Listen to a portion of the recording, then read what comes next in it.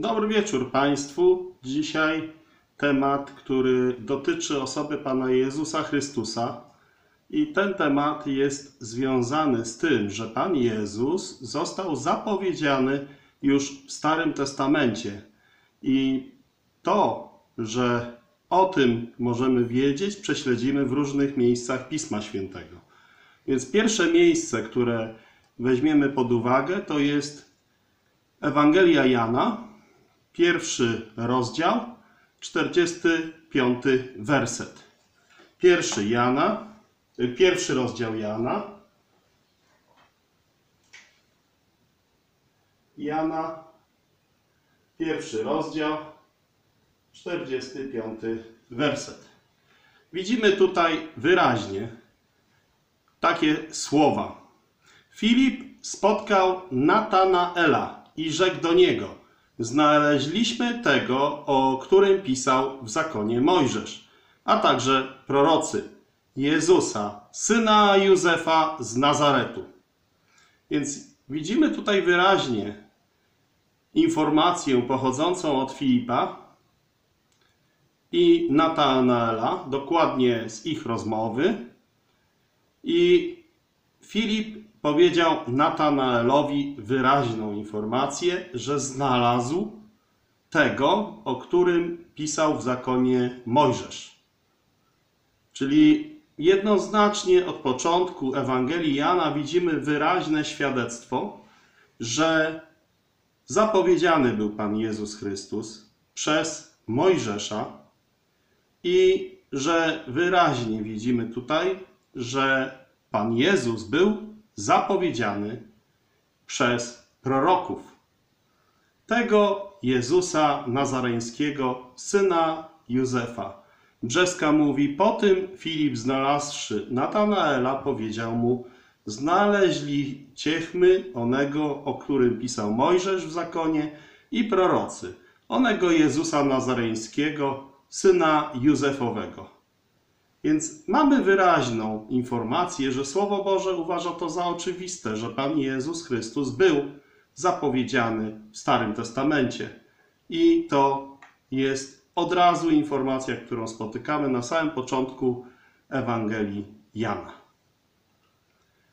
Kolejne miejsce, które możemy wziąć pod uwagę, to jest, a jeszcze może wspomnę, że w Biblii Gdańskiej te słowa są przedstawione tak. Filip znalazł Natanaela i rzekł mu: Znaleźliśmy onego, o którym pisał Mojżesz w zakonie i prorocy Jezusa, syna Józefowego z Nazaretu.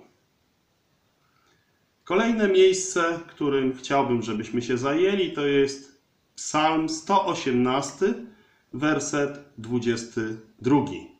Psalm 118, werset 22 zawiera następujące słowa. Kamień, który odrzucili budowniczowie, stał się kamieniem węgielnym. Te słowa jednoznacznie są w Nowym Testamencie odnoszone do osoby Pana Jezusa Chrystusa. Czyli te słowa, które w brzeskiej brzmią kamień, który odrzucili budujący, postawion jest na wierzchu węglowym, albo Gdańska kamień, którzy odrzucili budujący, uczyniony jest głową węgielną. Te wyraźne słowa zawarte są w Psalmie 118. Psalm 118, werset 22. Werset 22. Czyli kamień, który odrzucili budowniczowie, stał się kamieniem węgielnym. I ta zapowiedź, na przykład w Mateusza 21 rozdział, 42 werset, Mateusza 21, Mateusza 21, 42 werset.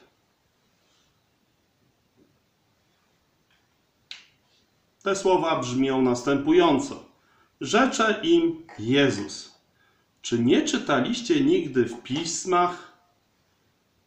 kamień, który odrzucili budowniczowie, stał się kamieniem węgielnym. Pan to sprawił i to jest cudowne w oczach naszych. Jednoznacznie zatem widzimy tutaj, że Pan Jezus odnosi te słowa do siebie. Te słowa, które wcześniej padły w Psalmie 118, werset 22.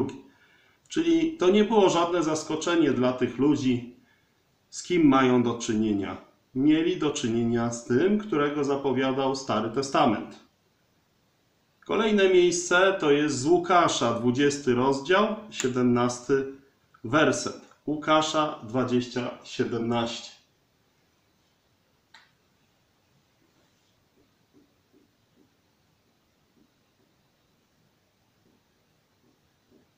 Łukasza, 20 rozdział, 17 werset. I tutaj mamy takie słowa. On zaś, spojrzawszy na nich, rzekł: Cóż więc znaczy to, co napisane? Kamień, który odrzucili budowniczowie, stał się kamieniem węgielnym. Jednoznacznie to odnoszone jest do Pana Jezusa w Łukasza 20:17. Oglądaliśmy to już wcześniej w materiale na temat Ewangelii Łukasza 20 rozdział. Było już na kanale to opracowanie. Natomiast tutaj jednoznacznie widzimy, że Bóg był przedstawiony tutaj jako ten, który wydzierżawił winnicę wieśniakom i odjechał. A następnie, gdy przyszedł czas rozliczeń, to wieśniacy się nie sprawdzili, bo odrzucili tego, który jest zapowiedziany w Nowym i w Starym Testamencie. Jest zapowiedziany w Starym Testamencie. Szerzej przeczytam ten fragment z Łukasza, 20 rozdział, żebyśmy mieli szerszą perspektywę. 20 rozdział od 17 wersetu mamy ten fragment wypełniający nam Psalm 118. Lecz ta przypowieść zaczyna się od ósmego wersetu rozdziału 20. Wtedy Jezus im powiedział: To i ja wam nie powiem, jakim prawem to czynię. I zaczął mówić do ludzi taką przypowieść. Pewien człowiek założył winnicę, wydzierżawił ją rolnikom i wyjechał na dłuższy czas. A we właściwym czasie posłał sługę do rolników, aby mu dali część plonów winnicy, lecz oni go pobili i odesłali z niczym. Ponownie posłał innego sługę, ale oni i tego pobili, znieważyli i odesłali z niczym. Posłał jeszcze trzeciego, a oni również jego poranili i wyrzucili. Wtedy pan winnicy powiedział: Co mam zrobić? Poślę mego umiłowanego syna. Może go uszanują, gdy go zobaczą. Lecz gdy rolnicy go zobaczyli, naradzali się między sobą i mówili: To jest dziedzic, chodźmy, zabijmy go, a dziedzictwo będzie nasze. I wyrzuciwszy go z winnicy, zabili. Cóż więc zrobi z nimi pan winnicy? Przyjdzie i wytraci tych rolników, a winnicę odda innym. Gdy oni to usłyszeli, powiedzieli: Nie daj Boże. Więc widzimy jednoznacznie: poślę mego umiłowanego syna. Bóg posłał Pana Jezusa Chrystusa, o którym te fragmenty nam wyraźnie świadczą. Pan Jezus Chrystus, umiłowany syn, on już był umiłowanym synem przed wysłaniem, bo inaczej nie byłoby wyślę mego syna, tylko wyślę tego, który stanie się synem. Nie, on już w momencie wysyłania był odwiecznym synem Bożym. Więc mamy wyraźne świadectwo, że ten odwieczny Syn Boży jest zapowiedziany w Starym Testamencie i w Nowym Testamencie mamy wyraźne wypełnienie tego. Kolejne miejsce to jest Psalm 110, werset pierwszy. Tutaj widzimy takie słowa. Rzekł Pan Panu memu, siądź po prawicy mojej, aż położę nieprzyjaciół Twoich jako podnóżek pod nogi Twoje. Czyli Psalm 110,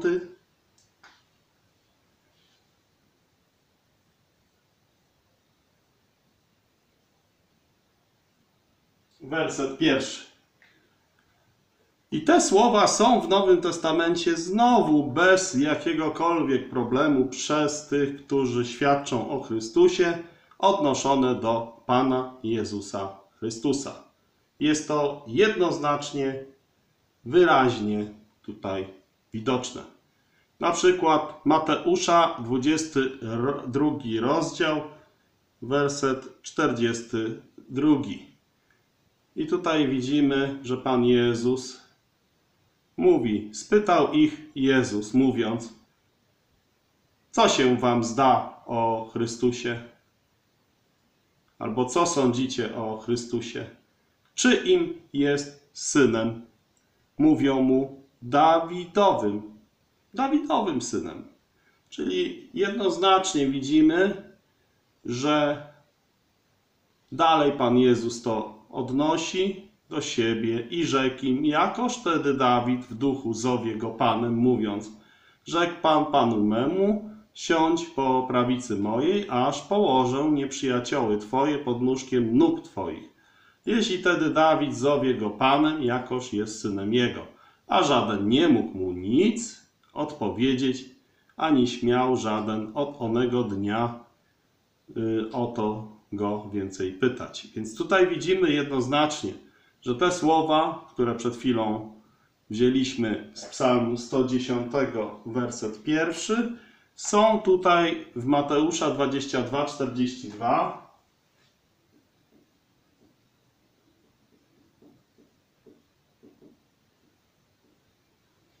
Mateusza 22 rozdział 42 werset są odnoszone jednoznacznie do Pana Jezusa.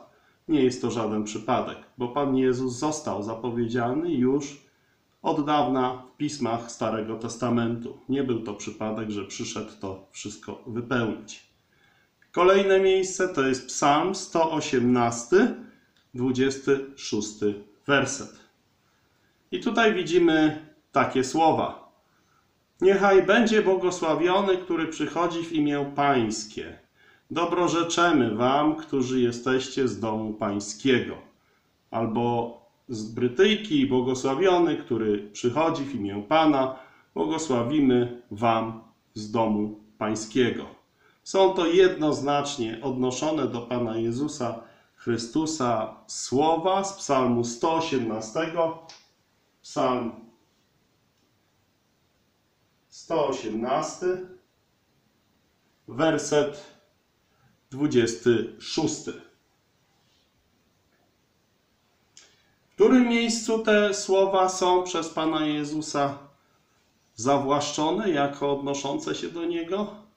Między innymi w Mateusza 23 rozdział 39 werset.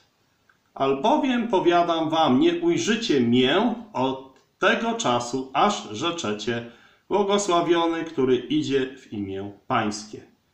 Widzimy tu jednoznacznie. Pan Jezus te słowa odnosił do siebie.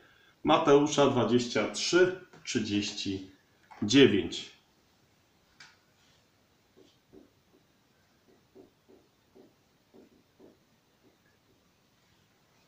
Zatem jest to wyraźnie widoczne, że Pan Jezus się przyznaje do tych słów jako do odnoszących się do niego. I po prostu masz niewielki wybór. Albo uznajesz, że miał rację, odnosząc te słowa do siebie, albo uznajesz, że nie miał prawa tego uczynić. Nie ma neutralnego gruntu. Kolejne miejsce. Psalm 41, werset 10. I tutaj Pan Jezus jest zapowiedziany w taki sposób. Nawet przyjaciel mój, któremu zaufałem, który jadł mój chleb, podniósł piętę przeciwko mnie. Czyli Pan Jezus jest przedstawiony jako ten, który będzie miał takiego przyjaciela, który go po prostu w przyszłości wykorzysta, bo jadł jego chleb i podniesie piętę przeciwko niemu. Lub jak mówi bardziej dosadnie Brzeska. I ten też, z którym mem mieszkał w pokoju, a któremu ufał i który ze mną chleb mój jadał, wierzgał przeciwko mnie. Lub także i ten, z którym żył w pokoju, jak mówi Gdańska, któremu ufał, który chleb mój jadał, podniósł piętę przeciwko mnie. Czyli Psalm 41, werset 10.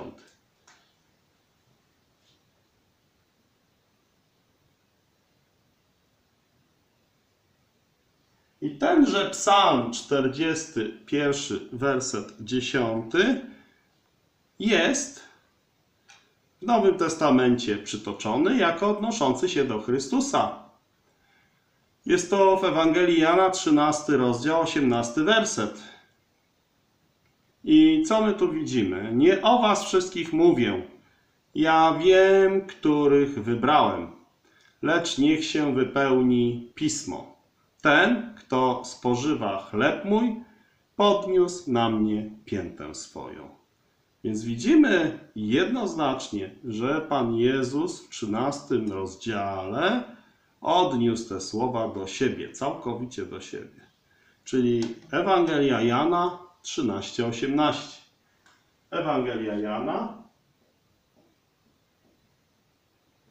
13:18.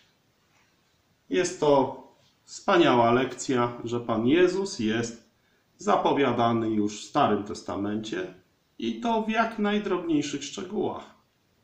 Kolejne miejsce jest Zachariasza, 13 rozdział, 7 werset. Zachariasza 13:7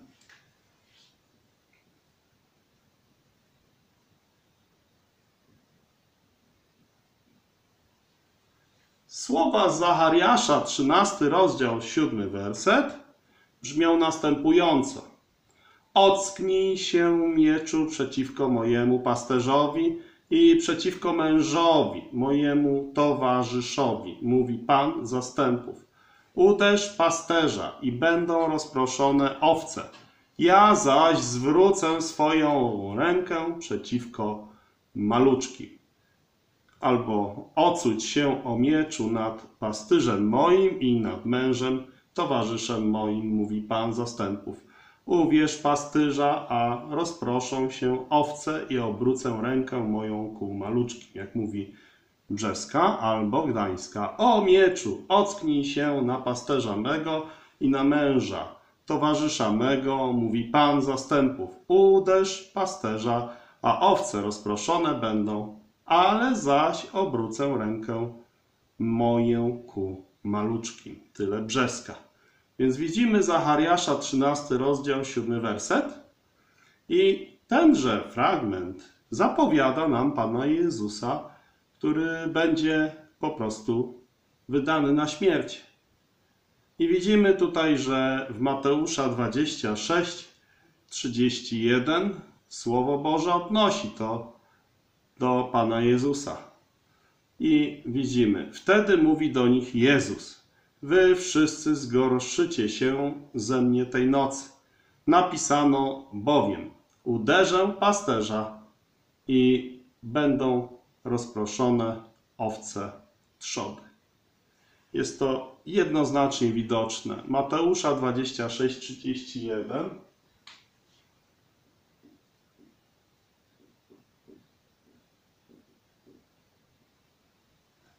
A więc mamy wyraźnie pokazane, że te słowa są przez pisma Nowego Testamentu, chrześcijańskie pisma greckie, odnoszone do osoby Pana Jezusa, zapowiedzianego w Starym Testamencie, w hebrajskich pismach. I tutaj jednoznacznie jest powiedziane, że Jezus wiedział o tych słowach i na tej podstawie wypowiedział to, odnosząc się do tych słów. Kolejne miejsce, które pokazuje, że Pan nasz Jezus Chrystus był w Starym Testamencie zapowiedziany, to jest miejsce z Izajasza 53:12. Izajasza 53:12.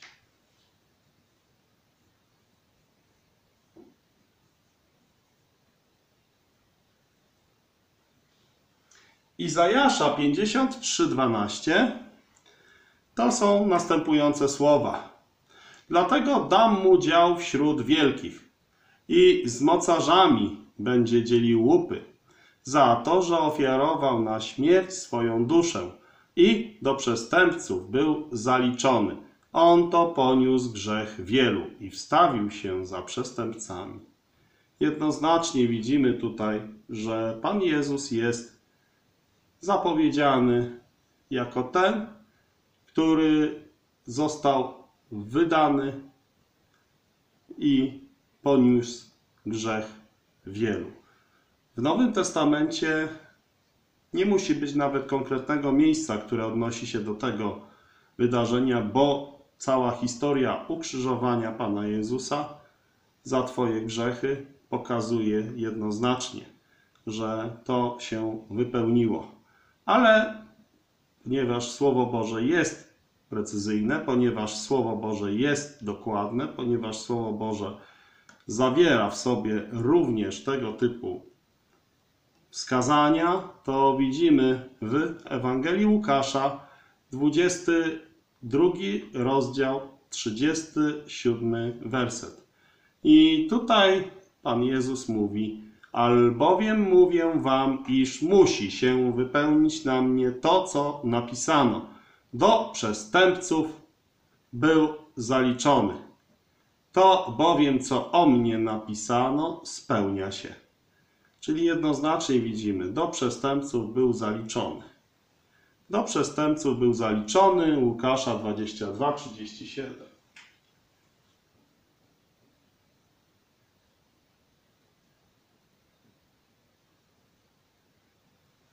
Łukasza 22, 37.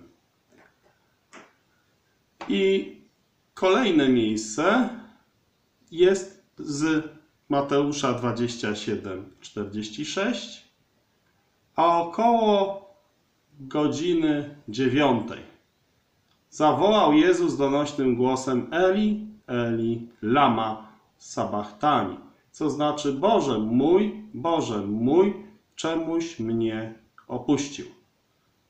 Dziewiąta godzina w Piśmie Świętym jest to godzina mierzona według czasu hebrajskiego i jest to mniej więcej 9 plus 6, bo około 6 rano wstawało słońce w Izraelu i to powoduje, że oni mierzyli czas od wstania wschodu słońca do momentu zachodu słońca i to było mniej więcej 12 godzin. Te godziny nie były godzinami 60-minutowymi. Tylko okres dnia dzielił się sztywno na 12 godzin i te godziny były czasem dłuższe niż 60 minut, czasem były krótsze niż 60 minut, a czasami niemal równe 60 minutom. Cała doba miała oczywiście odpowiednik naszych 24 godzin. I co tutaj widzimy? Że około godziny 15 naszego czasu Pan Jezus donośnym głosem zawołał Eli, Eli, lama sabachtani, co znaczy Boże mój, Boże mój, czemuś mnie pozostawił. Werset wcześniej jest powiedziane, że od 6 godziny do godziny 9 ciemność zaległa całą ziemię. Czyli 3 godziny było ciemno od 12 naszego czasu, bo to jest odpowiednik 6 godziny do 15 godziny danego dnia. A więc wtedy, kiedy słońce najczęściej, najmocniej, najjaśniej świeci w każdym zakamarku, a co dopiero takim miejscu jak Izrael, który jest w bardzo nasłonecznionym miejscu, to mimo tego widzimy, że wtedy słońce na 3 godziny zaćmiło się. Nie było to zaćmienie słońca. To była ciemność zalegająca całą planetę Ziemię wtedy kiedy w Izraelu było między 12 a 15. I kolejne miejsce to jest właśnie ten Mateusz 27:46.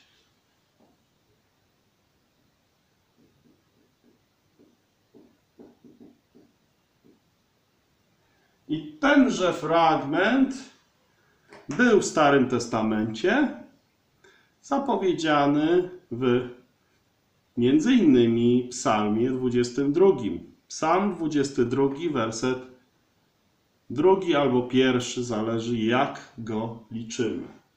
Czyli Psalm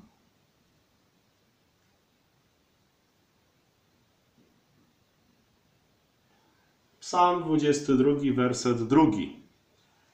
I tutaj są takie słowa. Boże mój, Boże mój, czemuś mnie opuścił?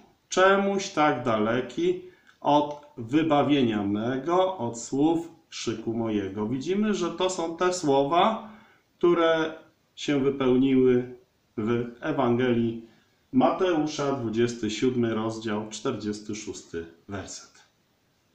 Kolejne miejsce, które pokazuje nam, że Pan Jezus został wyraźnie zapowiedziany jeszcze w Starym Testamencie, to jest miejsce, które jednoznacznie odnosi się do Pana Jezusa w Ewangelii Łukasza, 23 rozdział, 46 werset. Łukasz 23, 46.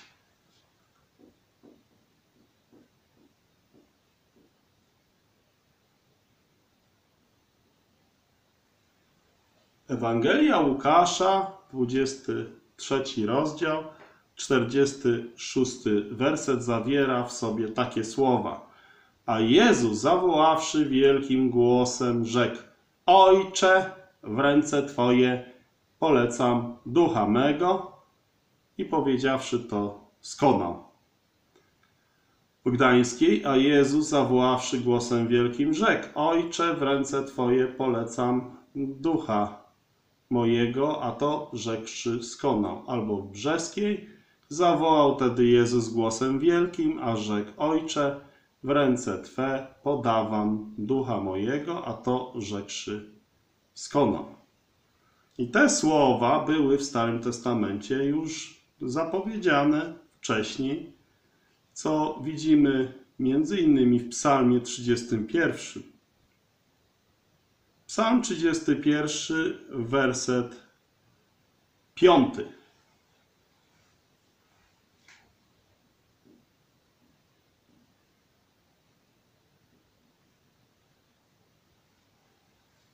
Psalm 31, werset 5. I mamy tu wyraźnie napisane: W ręce Twoje polecam ducha mojego. Odkupiłeś mnie, Panie Boże wierny. Jest to wyraźna zapowiedź śmierci Pana Jezusa Chrystusa. Już w Starym Testamencie te słowa zostały odnotowane. Kolejne miejsce to jest miejsce z Daniela, 7 rozdział, 13 werset. Daniela 7, 13. I widziałem w widzeniach nocnych, oto na obłokach niebieskich przyszedł ktoś podobny do Syna Człowieczego i doszedł do sędziwego i stawiono go przed nim. Daniela 7:13.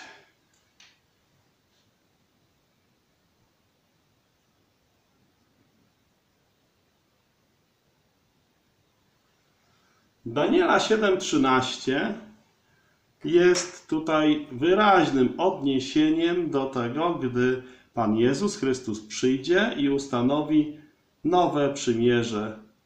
Nowe przymierze, jak wiemy, będzie zawarte z Izraelem i Judą. I tutaj widzimy, że jest tutaj Marka.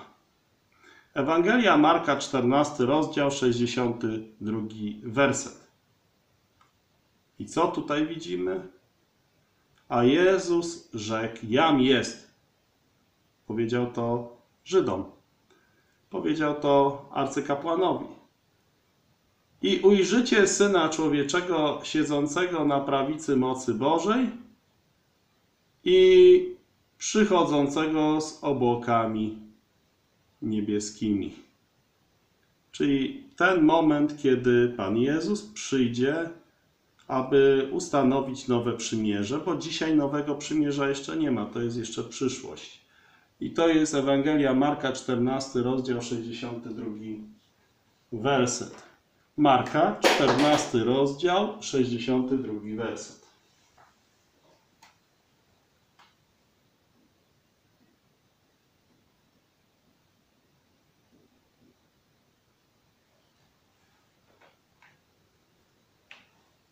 Nie ma jeszcze nowego przymierza, bo jak wiemy ze Słowa Bożego, nowe przymierze zostanie zawarte i ono będzie zawarte z nikim innym, jak właśnie z Izraelem i Judą, z dwoma domami izraelskimi. Nie mamy się przejmować tym, że nie wiemy, gdzie jest dziesięć plemion izraelskich. Bóg wie, gdzie one są. I skoro najważniejsza osoba wie, gdzie one są, to on dokładnie ich sprowadzi do ziemi Izraela i wtedy będzie zawarte nowe przymierze. Hebrajczyków mamy wyraźnie powiedziane, że jest to przyszłość. Zawrę nowe przymierze. Czyli dziś jeszcze nowego przymierza nie ma. Ono będzie zawarte, gdyby dzisiaj było pochwycenie, to 1007 lat od momentu, gdy ja zostanę zabrany do nieba przez Boga. I to będzie, załóżmy, jeżeli dzisiaj by Pan Jezus przyszedł po Kościół, po swoich, w tym po mnie, to 7 lat byłoby ucisku i yy, przejęzyczyłem się. Po 7 latach od dzisiaj. 1007 lat od teraz to będzie koniec świata. Natomiast z 7 lat od momentu od teraz, gdyby dzisiaj teraz było pochwycenie, będzie zawarte nowe przymierze, bo nowe przymierze inaczej jest określane jako tysiącletnie królestwo albo milenium. Ono będzie trwało tysiąc lat.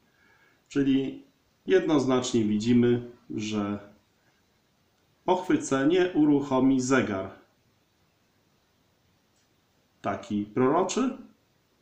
Wtedy zacznie trwać 70 siedmioletni okres nazywany tygodniem lat Daniela. Mamy to opisane w Daniela 9 rozdział. I to będzie 7 lat trwało. A potem będzie to, co jest opisane w Mateusza 25 rozdział. I wtedy sprawiedliwi wejdą do Królestwa Bożego, do tysiącletniego Królestwa, albo inaczej no, nowego przymierza. Nowe przymierze wtedy będzie zawarte z Izraelem i Judą. I to będzie trwało tysiąc lat. Teraz nowego przymierza jeszcze nie ma. Ale ono się zacznie właśnie tym, o czym mówi tutaj Pan Jezus w 62 wersecie 14 rozdziału Marka, że Żydzi ujrzą go, przychodzącego z obłokami niebieskimi. I ci mordercy Pana Jezusa, którzy tutaj są, czyli zleceniodawcy morderstwa Pana Jezusa, arcykapłani, między innymi, też Pana Jezusa zobaczą. Bo jest powiedziane, ujrzy go każde oko. Każde, także tych, którzy zdążą już do tego czasu umrzeć. Ich ciała się rozłożą, a mimo to zobaczą go. Kolejne miejsce to jest pierwsza Mojżeszowa, trzeci rozdział, piętnasty werset.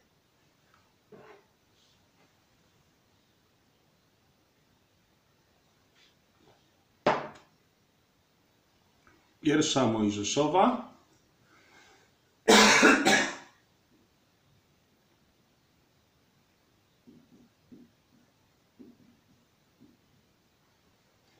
Trzeci rozdział, piętnasty werset. I ustanowię nieprzyjaźń między Tobą a kobietą, między Twoim potomstwem a jej potomstwem. Ono zdepcze Ci głowę, a Ty ukąsisz je w piętę.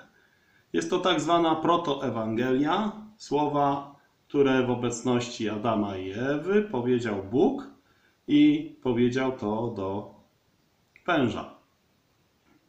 I tenże wąż jest tutaj powiedziane, że na brzuchu będziesz się czołgał i proch będziesz jadł. I to jest zapowiedź tego, co się stanie w Nowym Przymierzu. Bo w tysiącletnim królestwie wąż będzie jadł proch. Częściowo się to spełniło, bo już się na brzuchu czołga wąż. A więc nie widzimy jeszcze, żeby wąż jadł proch. Ustanowię nieprzyjaźń między tobą a kobietą, między twoim potomstwem a jej potomstwem. Ono zdepcze ci głowę, a ty ukąsisz je w piętę. Jest to jednoznaczne odniesienie do Pana Jezusa Chrystusa. Pierwsza Mojżeszowa, trzeci rozdział, piętnasty werset. Kolejne miejsce to jest księga pierwsza Mojżeszowa, 49 rozdział, 10 werset.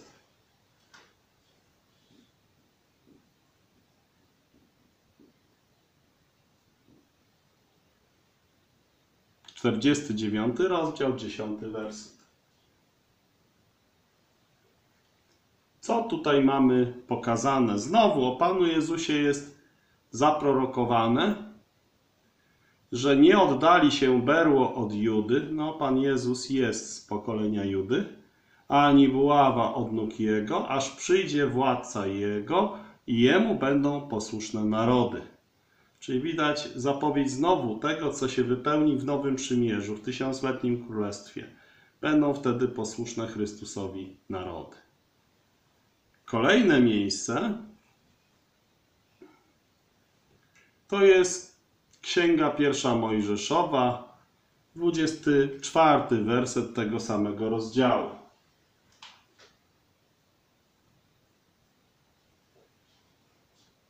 Dwudziesty czwarty werset tego samego rozdziału brzmi Łuk jego stale napięty, a ramiona jego i ręce giętkie dzięki pomocy mocarza Jakuba. Stamtąd, gdzie jest pasterz, opoka Izraela. Opoka Izraela. Czyli jednoznacznie jest tu zapowiedziany Pan Jezus jako ten, który jest i pasterzem, i opoką Izraela. To, że to chodzi o tą samą osobę, widać fajnie w Brzeskiej. Łuk jego został duży, a ramiona rąk jego wzmocniły się w rękach mocarza Jakubowego. Stądże był pastyrzem opoki izraelskiej. Czyli widzimy jednoznacznie, że jest to zapowiedź dotycząca Pana Jezusa Chrystusa. On to wypełni. Kolejne miejsce to jest księga czwarta Mojżeszowa, zwana Księgą Liczb. 24 rozdział, 17 werset.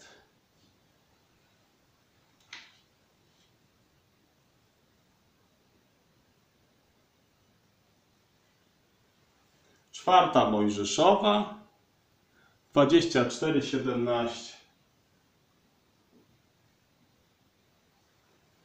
Tutaj mamy proroctwo związane z wypowiedzią człowieka, który, no więc przewiduje on przyjście i tego, że ujrzy, ujrzę go, ale nie teraz. Wejrzę nań, ale nie z bliska. Wzejdzie gwiazda z Jakuba, a sceptrum wywyższy się z Izraela i pokruszy książęta Moabu, a wszystkich synów Seta wytraci. albo widzę go, lecz nie teraz, oglądam go, lecz nie z bliska. Wzejdzie gwiazda z Jakuba, powstanie berło z Izraela i roztrzaska skronie Moabu, ciemię wszystkich synów Seta. To mówi Słowo Boże, pokazując nam, że w Starym Testamencie już był zapowiedziany Pan Jezus jako ten, który pokona wrogów Izraela i jest tu nazwany gwiazdą z Jakuba, bo Pan Jezus będzie pochodził z Jakuba i ujrzę go, ale nie teraz. Gdzie ten prorok widzi wyraźnie, że to jest dopiero przyszłość, kiedy go ujrzy. Kolejne miejsce to jest miejsce związane z dziejami apostolskimi, trzeci rozdział, 22 werset. Wszak Mojżesz powiedział, proroka jak ja spośród braci waszych, wzbudzi wam Pan, Bóg Jego, słuchać będziecie we wszystkim, cokolwiek do was mówić będzie. Czyli Mojżesz powiedział proroka jak ja spośród braci waszych, wzbudzi wam Pan, Bóg. A kolejna część tego wersetu, Jego słuchać będziecie we wszystkim, cokolwiek do was mówić będzie. Zatem widzimy jednoznacznie Dzieje apostolskie 3:22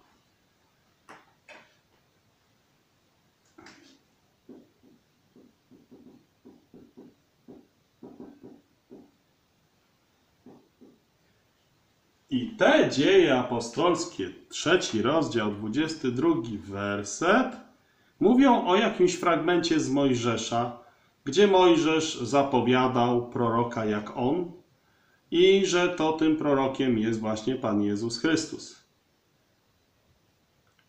I to jest przecież powtórzone w dziejach apostolskich, tak żeby nie było żadnych wątpliwości, w siódmym rozdziale, 37 werset. 7:37.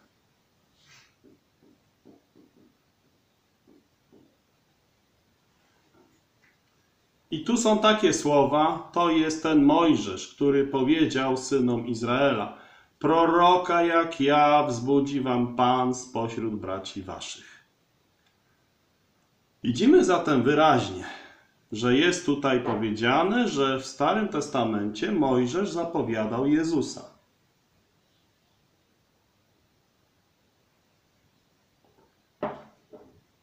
W którym miejscu zapowiadał Pana Jezusa?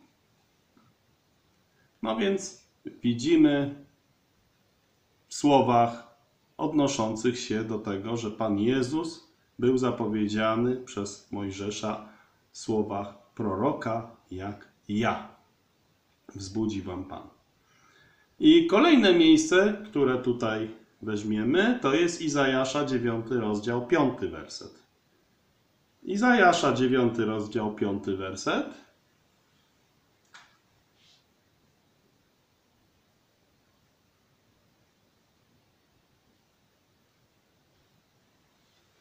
Padają tutaj takie wyraźne słowa dotyczące zapowiedzi Pana Jezusa Chrystusa, albowiem dziecię narodziło się nam, syn jest nam dany i spocznie władza na jego ramieniu i nazwą go cudowny doradca, pełen mocy Bóg, Ojciec odwieczny, książę pokoju.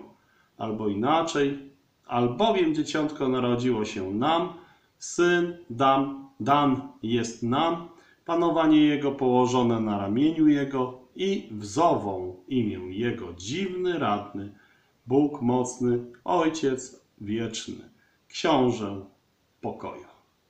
Są to słowa, które jednoznacznie wskazują na Pana Jezusa Chrystusa jako zapowiadanego przez proroka Izajasza.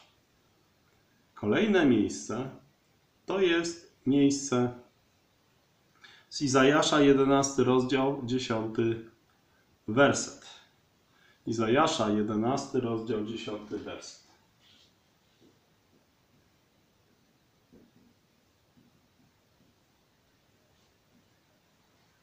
tym fragmencie mamy taką zapowiedź.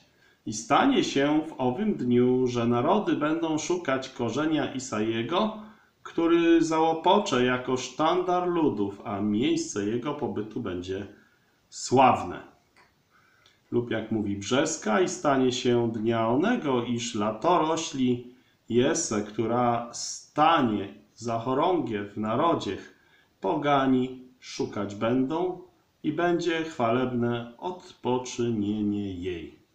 Jednoznacznie widzimy tutaj zapowiedź, że nastanie kiedyś czas, kiedy będzie właśnie potomek Jessego, Isaiego, czyli Pan Jezus Chrystus, On będzie rządził. Kolejne miejsce to jest Izajasza, siódmy rozdział, czternasty werset. Izajasza, siódmy rozdział, czternasty werset.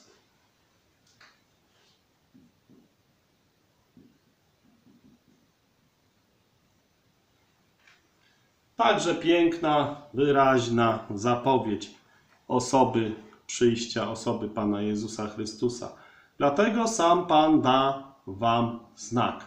Oto Panna pocznie i porodzi syna i nazwie go imieniem Immanuel. Albo jak mówi Brzeska, dlategoż Pan da wam znamię. Oto Panna pocznie, a porodzi syna, a wzowiesz imię jego Emanuel. Lub jak mówi Gdańska, przetoż wam sam Pan da znak. Oto Panna poczcie i porodzi syna, a nazwie imię jego Immanuel. I co my znajdujemy tutaj w Mateusza, pierwszy rozdział, 23 werset? Wypełnienie tych słów. Mateusza 1,23.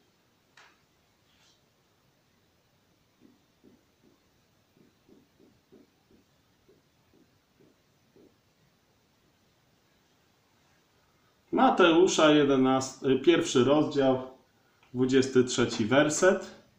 I tutaj jest wyraźnie powiedziane: Oto niektóra panna będzie brzemienna i porodzi syna, i nazowiesz imię jego Emanuel, co jeśli byś wykładał, znaczy Bóg z nami.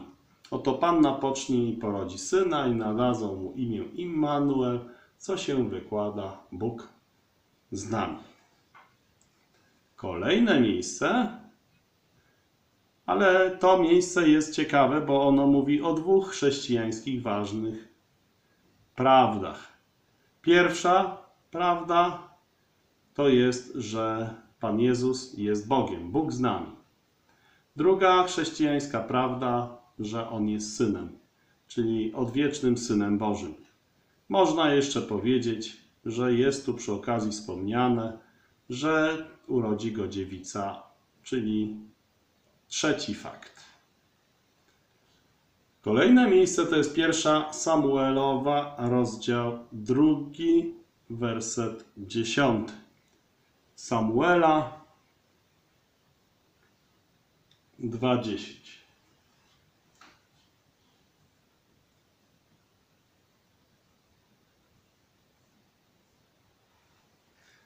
Pierwszej księdze Samuela, rozdział drugi, werset dziesiąty, jest powiedziane: Walczący z Panem będą zdruzgotani. Najwyższy w niebie pobije ich. Pan sądzić będzie krańce ziemi i da moc królowi swemu i wywyższy róg pomazańca swego. Widzimy tu jednoznacznie, że jest Pan Jezus zapowiedziany jako ten, który będzie na terenie ziemi izraelskiej, aż po krańce ziemi izraelskiej, aż po krańce ziemi izraelskiej będzie sądzić, czyli wykonywać prawo. Nie będzie to coś, co wyklucza to, że on globalnie również będzie wykonywał tą władzę, ale w granicach Izraela będzie szczególna moc działania Pana Jezusa w czasie Nowego Przymierza, w czasie tego okresu, który jeszcze nie nastąpił, bo jeszcze wilk nie mieszka razem z jagnięciem. w sposób taki, żeby jagnię nie odniosło szkody.